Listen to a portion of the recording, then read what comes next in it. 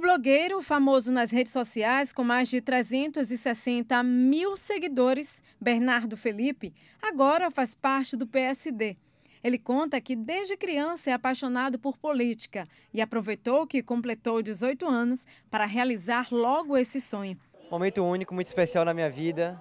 É, realizei um sonho, que é me filiar ao PSD Jovem. É, quero, no PSD Jovem, resgatar a juventude para o nosso partido e também fazer projetos que ajudem o jovem a crescer. A filiação contou com a presença do presidente da ALBA, Ângelo Coronel, do senador e presidente do PSD na Bahia, Otto Alencar, da deputada estadual Ivana Bassos, do vereador de Salvador, Edvaldo Brito e demais integrantes do partido.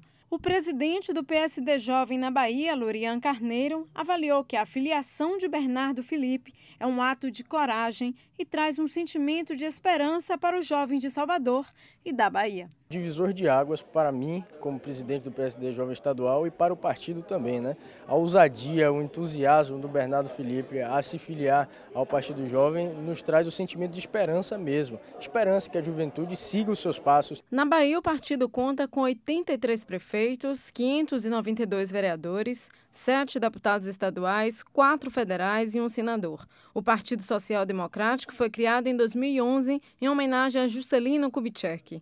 Ao lado do presidente Ângelo Coronel, o senador Otto Alencar destacou a importância da juventude na política. Eu fico muito feliz de que nós possamos ampliar é, a, a filiação de outros jovens. O PSD vai trabalhar para, no ano de 2020, ter um candidato a prefeito de Salvador. Nós vamos trabalhar para isso. Eu vou incentivar isso e vou começar pela juventude. O PSD hoje recebe um jovem, uma das revelações das redes sociais da Bahia, e a gente fica feliz de ver que é a renovação do nosso partido. Então hoje nós abrimos as portas da Assembleia para recebê-lo, quem sabe até pode virar um futuro deputado. É o partido se oxigenando no estado da Bahia, com a juventude ingressando a cada dia no nosso partido.